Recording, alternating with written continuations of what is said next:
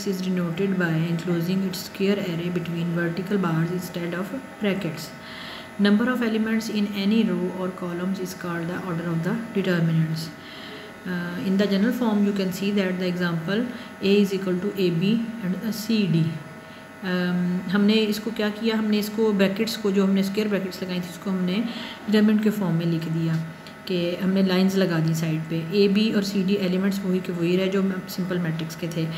हाँ इसको फाइंड करने का तरीका ये है कि हम रियल नंबर्स की फॉर्म में इसको क्रॉस मल्टीप्लिकेशन से ज़रिए फाइंड करेंगे। जैसे कि आप देख सकते हैं कि हम इस मैट्रिक्स ए ए को लिखेंगे ए बार की फॉर्म में और अब पास है ए बी और सी डी एलिमेंट्स ए को मल्टीप्लाई करेंगे डी के साथ और सी को, और सी और बी को मल्टीप्लाई कर देंगे। तो आप पास A B A D minus B C आपके पास रिज़ल्ट की फॉर्म में आ जाएगा। एग्ज़ाम्पल के तौर पे अगर हम देखें तो हमारे पास एक, दो एग्जांपल्स यहाँ मैं ले रही हूँ। एक एक मैट्रिक्स ए है और एक मैट्रिक्स बी है। मैट्रिक्स ए हमारे पास है two minus one four and three तो इसका डिटर्मिनेंट फाइंड करने के लिए हमें टू को मल्टीप्लाई करना पड़ेगा थ्री के साथ माइनस इंटू माइनस वन और फोर है। तो जब इसको हम सॉल्व करेंगे तो हमारे पास आएगा सिक्स प्लस फोर और आपके पास बराबर आ जाएगा टेन के।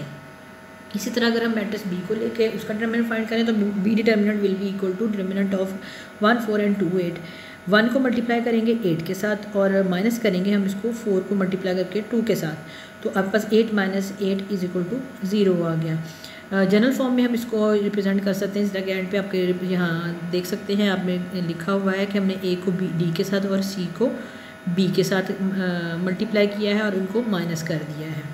तो इस तरीके से हम बहुत से क्वेश्चंस कर सकते हैं। जनरल क्वेश्चंस आप लेके इसकी प्रैक्टिस कर सकते हैं। Now we see the singular and non singular matrices जिस तरह के आप पिछली एग्जांपल में देख चुके हैं, हमने ए डिटर्मिनेंट और बी डिटर्मिनेंट फाइंड किया है तो हमारे पास ए डिटर्मिनेंट में वैल्यू आई है, जबकि बी डिटर्मिनेंट में हमारे पास ज़ीरो आया है।